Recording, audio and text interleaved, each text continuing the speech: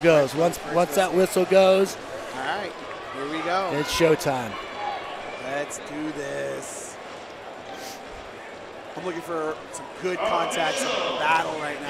Hard pummel coming at it, just like we expected. Duffield pushing the pace after that finals match in Vegas, and Koontz really controlled the tie, going for that left side two on one. Duffield's coming back with his underhooks at the moment in time. Hard pummel here. Legs underneath them. Both guys are, are, are beautiful positioning. One Well, it's a fight to, if not throw the person to their back or take them down in the beginning, but a- real fight is to get the convince the referee to put the other guy down first. We all know that. So there's a lot of gesturing here. So. It- It's a yeah. chess match. It Yeah. to figure out, hey, where, where are my feet at? Where am I going to get my leg? Am I gonna- Who's, where, who the refs talking to? Because you got to understand all three elements of the match, you know, and, and, and what's Well, going There's an on. arm drag right there. Wonderful arm drag attempt by Koontz. But Duffield is controlling the center. He is controlling the center. Koontz is getting back to his ties. He's kind of weathering the storm at the moment in time. But the refs are going after Koontz right now because Duffield is controlling the center.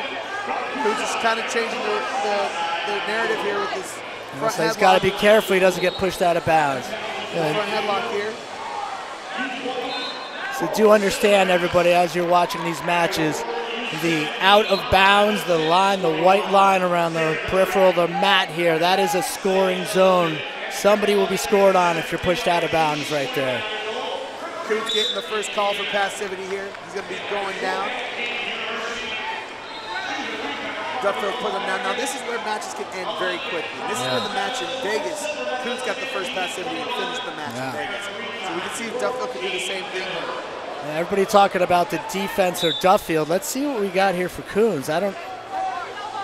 Not much emphasis there, so he's got a little high gut wrench lock. He's going to try to pick him up. here. He likes going high lift. He goes straight lift here. Step up. Big step. He likes to go kick finish when he gets him up here. We're going to see this. Big step out. Big step out. he's right, going to take got- his time. He likes to oh, take Oh, his time. Boy, that's four. back. Oh, wow, That's here we a go. five. That's Gave a him five. He's going right. straight back up with it again. Going again. We're going to get a two on that one. He's still inside. He can still score here. He can still It looks here. like we've got still 8 0 right now. Ten, eight, zero. Eight, zero, 10. We're getting a call here, 8-0-10.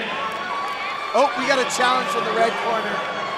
We I think I think Robbie, corner. the challenge may be on that the second lift, whether it's just two. So it would have been two. If it's two, that'd make it seven. Yeah, I think uh, that's what they're. I mean, obviously, why not challenge it at this So it point? should be nine. Wait, one more. We're, we're listening to. it. Trying to hear what the referee said. Oh, oh. So they did go two. They went five, two, one. Five, two, one.